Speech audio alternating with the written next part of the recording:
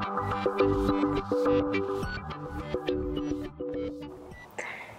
I'm Beth Rodden. Um, I'm gonna go through my racking system for a long multi-pitch route trad climb. Um, because when I'm racking things and going on a route, I like to have everything kind of compartmentalized and just know exactly where everything is. That way, if I get to a hard section or if I'm kind of like lost on a route and wandering, I don't have to think about where gear is. I know exactly where everything is. Um, and I use this almost every time I rack up for a climb. So first I'm going to start with um, my set of cams. I have a gear sling and what I normally do is I have a double set of cams and the smallest size, the gray, I usually just take one of unless I know the route and I need a lot of small gear, then I'll add to that. Um, doubles all the way up to one single of the biggest one. Um, and one thing that I do, because I don't like my gear sling to be too wide and cumbersome, is I take the same size piece and I rack it to the beaner.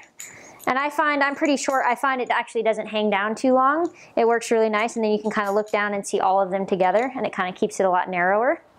I take a set of nuts and I put them over on my left side, the opposite side of my rack. I take a belay device with a locker and I put it on one of my back um, gear loops.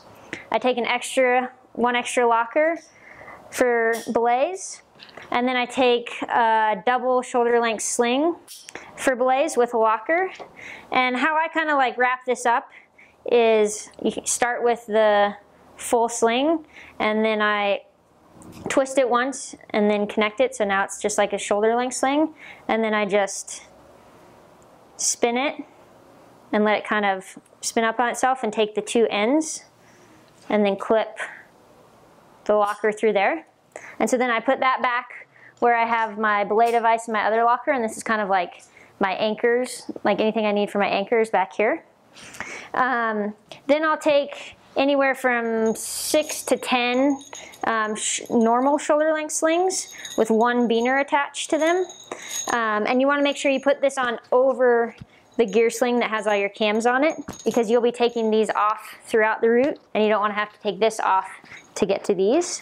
So I put one beaner on here because um, normally what I'm finding is I'm primarily placing cams so you only need one beaner because if you go and you place a piece then all you need to do is take this clip it in here and then you can clip your rope in here you don't need two, two beaners on your shoulder length slings but if for some reason I place a nut then you do need two so I take about five extra beaners.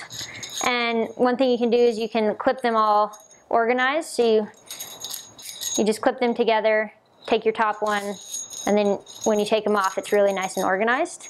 So I put these over on the other back gear, gear loop from my anchor system. And then finally I take anywhere from, you know, six to 10 uh, normal length quick draws and I put those on the same gear loop as I have my nuts and I put them behind it so my nuts are readily available. And this is for like if it's kind of wandery and you need to extend a cam or a nut or you know if there are bolts on the route or anything like that you just have um, draws that are already pre-made and you don't have to have this huge thing around your neck. Um, and then I just tie in and I'm ready to go. So this is kind of my system. I know where everything is. Um, obviously, if you have route beta, you can kind of like adjust your um, cam setup. Like if I knew that I needed a lot more big gear, I could unload some of these. If I needed a lot of small gear, I would, you know, triple up on some of those. Um, but it works great and I know where everything is.